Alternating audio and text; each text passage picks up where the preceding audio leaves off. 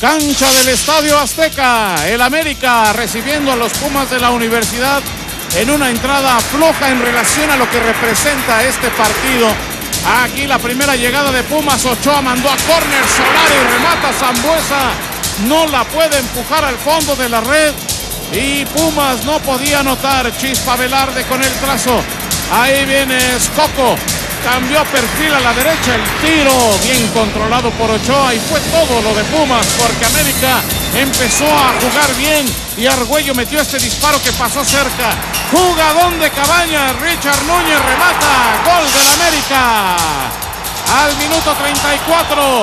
1 por 0. Vean qué servicio de Cabañas. Ya si no metía esta Richard Núñez. Ahí estaba logrando el 1 por 0 al 34. Y luego viene esta combinación. Cabañas. Richard Núñez. Cabañas va a esperar el centro remate. Gol del América. Al 42. Cayó la segunda anotación. Gran combinación. Y el remate de Cabañas. Escoco intentando el disparo. Otra vez Ochoa controlaba la pelota. Segunda mitad. Silva mete servicio. Cabaña remata. Bernal reacciona y manda tiro de esquina. Este esférico hacia el frente. Richard Núñez y Bernal que estaba rechazando. Hugo León Guajardo señalando el tiro de esquina y el remate. La pelota pegó en el travesaño en el remate de González.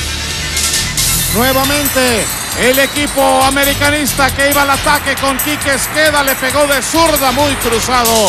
El cañonazo Pumas intentó hacer algo. Escoco tenía la pelota. Soldari la controló, le pegó de derecha. Ochoa sin problemas. Hugo León Guajardo con el silbatazo. El América derrotó a los Pumas 2 a 0. En el grupo número 2, América y Atlante tienen cuatro puntos. Atlas, Santos y Monterrey con tres unidades. Veracruz ya sumó un punto.